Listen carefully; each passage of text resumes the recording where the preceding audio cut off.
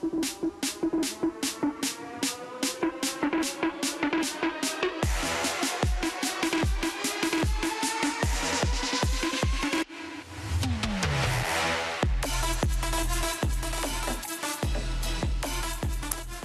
So let's switch our focus now to cricket on the Sportsmax zone. The Olympic Games took some attention away from the West Indies in their battle against South Africa, but the Caribbean side managed a draw in the first test, which ended on Sunday in Trinidad and Tobago. The Windies finished the final day on 201 for 5, chasing 298 for victory when play was called off with six overs left on a rain-interrupted match. Dominican Alick Athanaze struck a career best 92 to top score in the West Indies second innings, while Keacy Carty and Jason Holder both scored 31. Spinner Keshav Maharaj finished with 4 for 88 to end with 8 wickets in the match for the Proteas. Earlier in the day, the South Africans declared on 173 for 3, batting a second time, starting the day on 30 without loss. Tristan Stubbs top scored with 68 against Jomel Warrican's 2 for 57.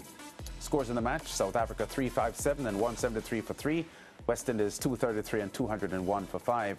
Let's get the thoughts now of uh, Fazeer Mohammed. Faz, I haven't spoken to you in a while. Um, welcome back to the Sportsmax Zone. Always great to have you on the show. Your, your recap of what happened at uh, Port of Spain's Queen's Park Oval over the past week. Yeah, I think we yeah. have a little difficulty with uh, Faz and his audio. The video is fine, but I think his, his, his audio froze. But um, uh, it was a, game that was badly affected by rain, and I have to think that if the game went without rain interruptions at all, there could have been a result in this match. Well, there would have been a result.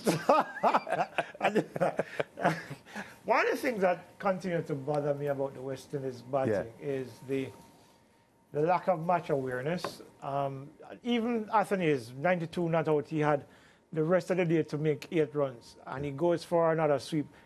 The man was at backward square. Everybody saw it coming. Yeah. He, um, Maharaj was bowling in that line to have him sweep again, yeah. and he fell for it. Yeah. Just play the ball straight, take singles, and get. Yeah, at the time I think there were what eight or nine overs left. Just play it out and make a hundred, and yeah. I don't, I don't know what it is where I'm sitting in my living room and I'm able to assess what's going on but the people in the middle don't seem to be able to do that. All right, I think we, we've got Faz back. Uh, Faz, do you agree with Leighton's assessment of uh, Athanaze? Well, I didn't hear it clearly. First of all, let me apologize because we had some torrential showers midday today that caused a lot of disruption. So it might have affected the reliability of the, the, the Wi-Fi as well. Yeah. So yeah. Uh, I, I, didn't hear Leighton's comment clearly. So yeah. Uh, no, I was saying I was saying it seems it seems always had to happen where our batters seem not to be aware of the match situation in the moment. Like for example, I was talking about Athens. The game was is petering out to a draw. He could have used the opportunity to make 100. He's on 92. And he falls for a trap that was so obvious. I mean, I was sitting in my living room watching them put the man at backward square and Maharaj bowling this particular line, getting him to sweep again and then gradually easing that line into his off stump where he eventually would sweep and swept right into the man's hands. I'm like, didn't he see that coming? I'm, I'm thinking that the match awareness I, am not sure if I'm thinking about it the right way or they're not. But it always seems to me that they fall for the most obvious of traps. I, I hear you on that. Uh, one thing I would uh, add that, that certainly I, I, felt influenced the shot that Athanaze played when, when he got out. It was getting darker and darker. The umpires had brought out the light meters. So he was clearly mindful that play could have ended at any time. Fair enough. And, and, and therefore, um, I think he was very aware that, look, you know, um, I've got the chance to get a test match 100 here, which he missed out on in Nottingham. This time around, I think he played with a lot more uh, awareness of the situation. It's just that that impatience and being mindful that play could have ended at any, any time because of the fading light, I think is what prompted that shot. Fair enough. Mm. I, I, will, I will yield to that point because mm. I just thought that with the, the, I didn't consider the, the fact that the, the, the, play could have been called off mm. because it was like what seven or eight overs left. I think eight, yeah. And he had eight runs to get. Eight singles could have done it, or you know maybe get a four somewhere in, in it. But you know, to, Go ahead, Lance, take over. Yeah, uh, yeah, Faz, I just wanted to get a comment from you, though, because I haven't spoken to you in a while, and even the, the 11 that was picked, any any any surprises for you in the 11 that the West Indies went into this test match with? No, not really, because I, I think what, what, we are seeing, Lance, and, and, by the way, can I just quickly uh, uh, put in that uh, Mr. Selby Brown of CSDN asked me to pass on his commendations to you, Ricardo, and the entire Sportsmax team for the coverage of the Olympics. Um, he, he, said it was truly outstanding and it's something to be proud of as Caribbean people. And, and, and I, am happy to pass on those, those commendations to yeah, you. Well, tell, uh, tell Selby Brown thanks. His, his, his sister taught me biology at school in Jamaica. Here in Jamaica. I don't know if that's a good thing or bad thing. it, it, was good. it was good because I was good at biology. So it is, it, it is commendable. That's, that's, that's great to hear.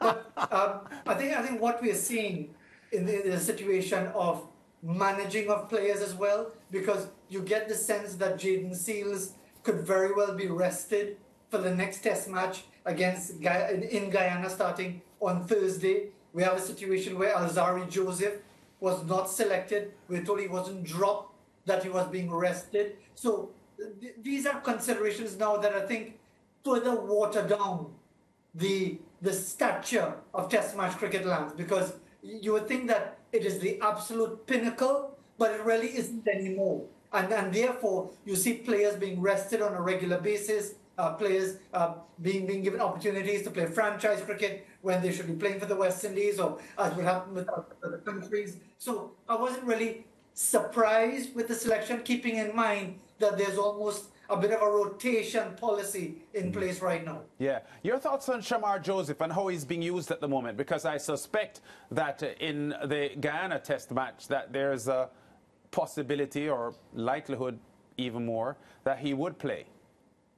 Yeah, and I, expect that he should play, that he, that he would play, but but we, we, we have a situation now, Lance, where you need to have individuals like Shamar Joseph who haven't played a lot of cricket. Because again, it's well documented. He only bowled 13 overs of competitive cricket before that first test at Lords just about a month ago. And, and, clearly that wasn't enough. We saw the cramps, we saw all sorts of different ailments and injuries, and him clearly being very short of work. The challenge is how do we get these players ready? For example, do you say don't sign an IPL contract unless they tell you you're going to play 75% of the matches?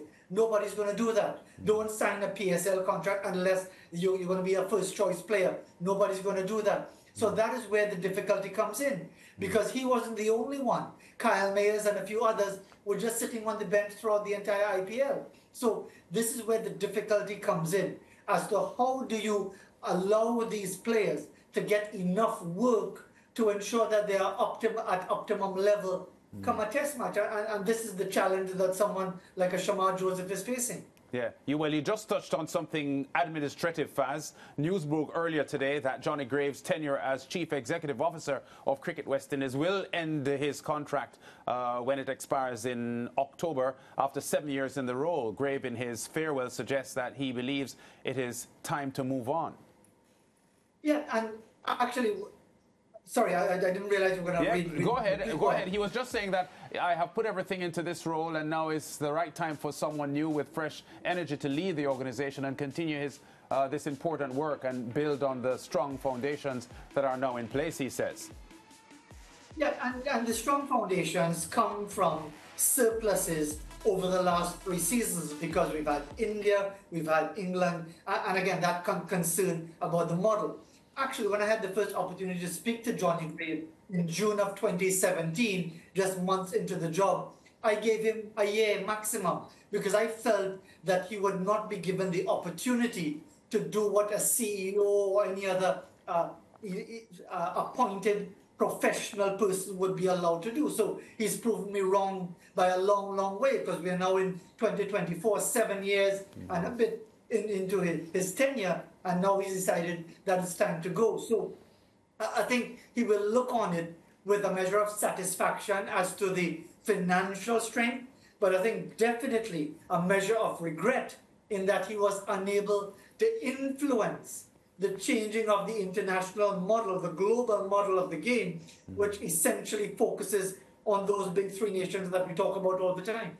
Yeah, Art Faz, I guess we can continue this discussion um, some other time because we're, we're out of time now because I, am not 100% sure that he was ready to leave the job. Um, the grapevine does suggest that um, he, he may have wanted to continue, but it was a decision that his, his, his, his contract would, would, not, would not be renewed. Of course, that is, that is an unofficial uh, position that I'm, I'm, I'm getting, and I'm, I'm, I'm, I'm I, understand that sometimes when these things happen, the, the farewell comment is for the public and may not necessarily be coming from the person's heart. But let's see how that unfolds. But thanks, Faz. We look ahead to what happens in the Guyana Test match.